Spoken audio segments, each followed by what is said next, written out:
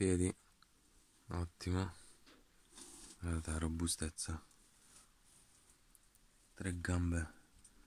Tre assi per ogni gamba. Pistone centrale veramente grande. Si alza questo qui mi pare che si alza a cricco. Allora, avevo già fatto un altro video su questo. Mi pare che avesse questo è quello della Saba. Non sbaglio il cricchetto a manovella si gira e sale su per tutta la lunghezza del pistone e si allenta con il tastino qui. Tutto regolabile inclinazione anche una maniglia per tenere si usava con le telecamere di una volta quelle belle pesanti. Forse si può usare ancora adesso